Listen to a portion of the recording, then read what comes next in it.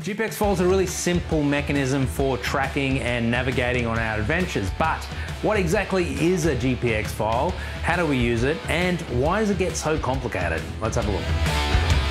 So GPX file has one of three points in it, a waypoint, which is gonna show you all the locations in no particular order, a route point, which has a sequence of waypoints to get you to a location, and track points, which shows you where you've been or someone else has been, then you can follow their path. Now, it's okay, this is as nerdy as we're gonna get, but just so you understand exactly what is in the GPX file, is effectively a text file. This schema defines exactly what text is in that file to define the structure of the file.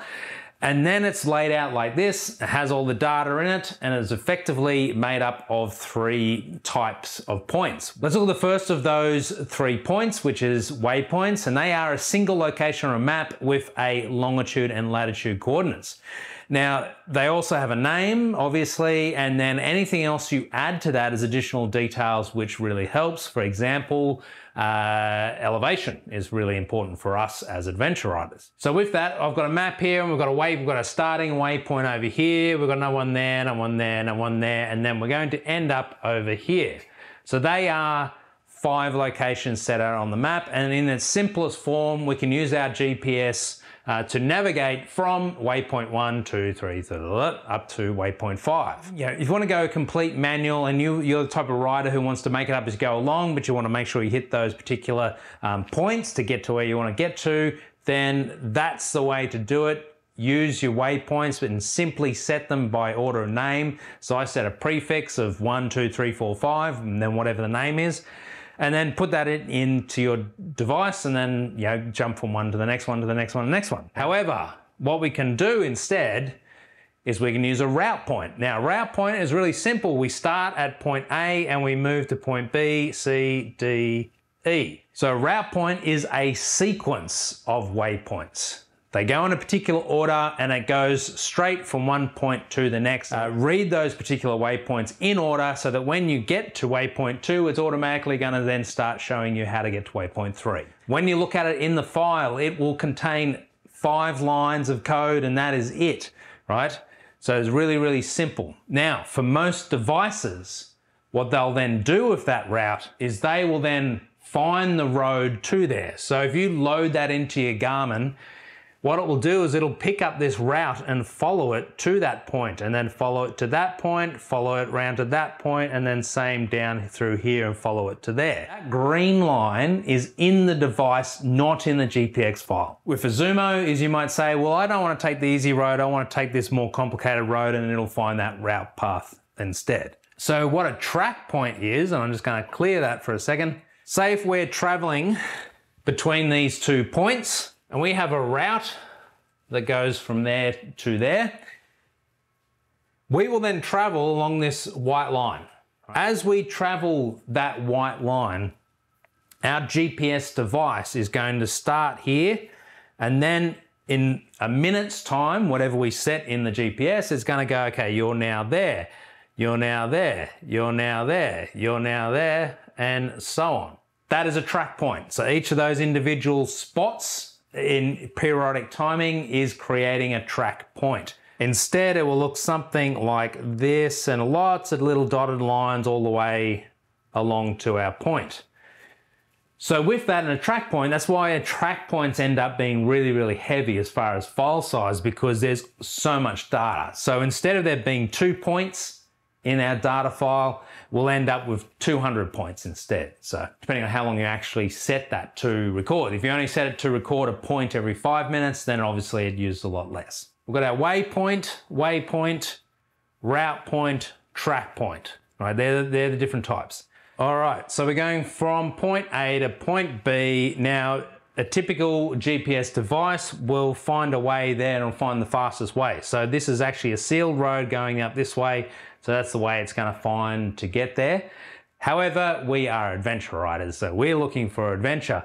Now, this is actually Yango Creek Road, by the way, which is probably, if you saw a video of us drowning our bikes, that's where that is. Assuming you haven't got it set to avoiding dirt roads, etc., it'll find a way to our waypoint to where we want to get to via this road, via this point.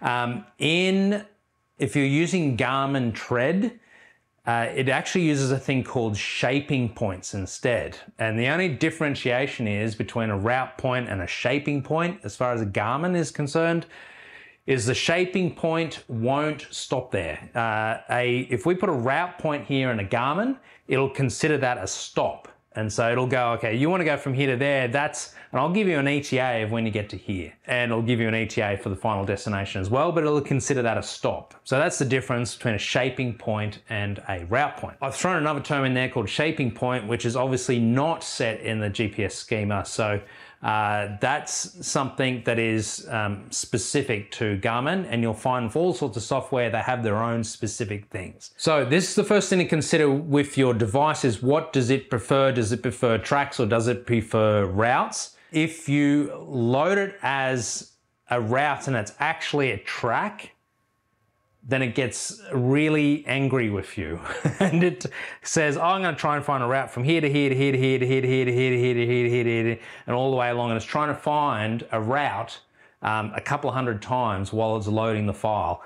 So if you ever find on OsmAnd uh, or open source maps, open source, someone corrected me on that the other day, open source navigation or something. So I don't know what it stands for, to be honest. OsmAnd, that'll do. Um, if you're using that app, you need to make sure it's a track that it's following and not a route. If it's a route, it's just single points. If it's a track, um, make sure it's actually stored as a track and not as a route. So if you export out of something like um, Gaia Maps, it'll export a track as a route, which is a pain in the ass.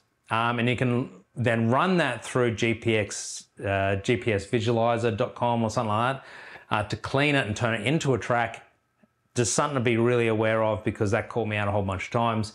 Uh, if you find that it's loading really, really slowly, trying to load a route in, uh, trying to load a track into there, it's probably a route. All right, so to recap, GPX file has three points in it, a waypoint, a route point, or a track the advantage of using a route point, there's actually a couple of advantages to this. One is you're putting in here and you're going to start over here and you're going to end up over there and you want to go via these route points, right? So as far as the GPS is concerned, you've told it the parameters, the boundaries of what you want your trip to be it'll make up the rest. So say we've traveled all the way through to this point, through to this point, and we get halfway here, the creek crossings are way too deep, and you should probably turn around and go back, or just barrel through it if you want.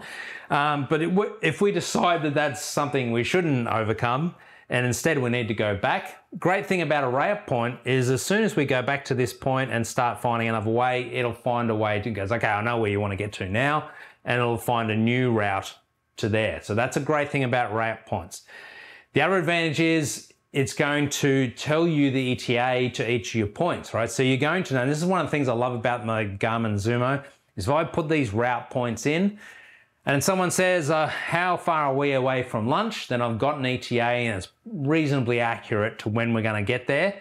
I also know how long it's gonna take to get to the final ETA as well, because it's all in the same route. So it'll give me a you know, next waypoint ETA, but it'll also give me the final destination ETA, which means I then know how long we can stop for lunch. So if we're trying to get here by 5 p.m. roughly, and here it's telling me it's going to take me another couple of hours to get to there, then I know that we've got an hour up our sleeves to have lunch, right? So that's a big advantage of route points is A, you can re-navigate, and B, you've got your ETAs, and they're probably a little more accurate than your tracks. So that's if you've got a track file that someone's given you that they've actually done the track with. The other is a virtual track file, which has been created in a program like Gaia Maps. Now, if we've created a virtual one, so say for example, and I've got two routes defined here. I've got one that goes up over the road, and I've got another one that goes through the middle via off-road.